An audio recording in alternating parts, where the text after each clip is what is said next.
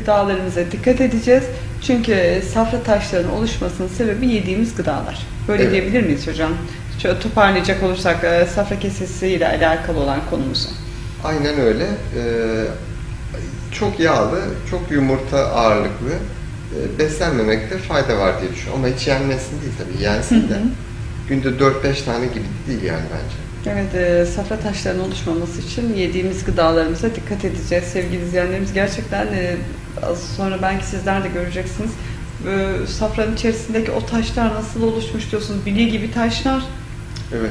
Bir e, ufak bir Boncuk maden gibi, gibi, bilye gibi. boncuk gibi. O yüzden ama ne olur dikkat edelim yediklerimize. E, biraz daha seçici olalım. Doğru. Evet tabii şu anda da sıcak yaz günlerine de girdik. Hava çok sıcak. Ee, bol bol sıvı tüketmemiz gerekiyor. Sıvının çok önemi var sağlığımız Kesinlikle. açısından hocam.